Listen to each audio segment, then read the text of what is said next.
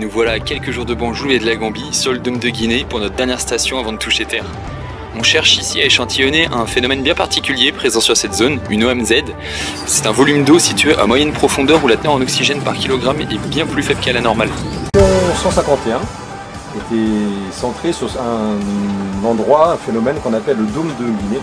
L'idée pour nous, c'était de venir ici et d'aller échantillonner l'eau en, euh, surface et d'aller chercher l'eau dans la zone euh, déplétée en oxygène qu'on appelle une OMZ, oxygène minimal zone.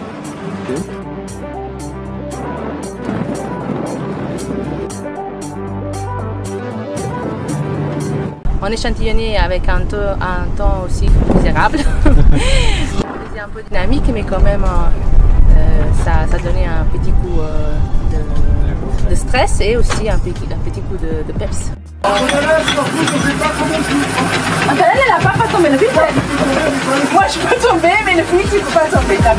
Les organismes qui vivent dans ces eaux pauvres en oxygène sont différents de ceux en surface et donc c'est très intéressant pour nous d'aller étudier ce qui se passe à ce niveau-là. Ça c'est le but principal de la station 151 Doum de. La station euh, dans il a plu, tout le monde était trempé, tout le monde. Et du coup, euh, la rosette ne marchait pas, donc tout le monde était euh, en fait. Au final, le câble a pu être réutilisé pour envoyer les instruments de la rosette séparément. On a donc désassemblé la rosette pour envoyer toutes les bouteilles Niskin par petits groupes afin d'effectuer nos prélèvements d'eau. Dernière station pour notre équipe scientifique, l'émotion est là après près d'un mois embarqué. C'est maintenant l'heure pour chacun de revenir sur ses semaines embarquées à bord de la goélette et ces moments assez uniques passés ensemble. Il y a, à bord, il y a plusieurs, plusieurs nationalités, mais le vivre ensemble m'a beaucoup interpellé et c'est une valeur ajoutée également dans ma culture moi j'ai adoré. C'était une super super expérience.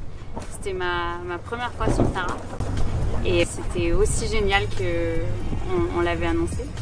Je trouve que c'est hyper intéressant de voir tous les gens d'horizons différents qui se mélangent et de voir la coopération entre scientifiques, marins, médiaman. Et ça, euh, non, je ne m'attendais pas à ce qu'il y ait une telle unité à bord. Et euh, j'ai trouvé ça très très chouette et très très instructif.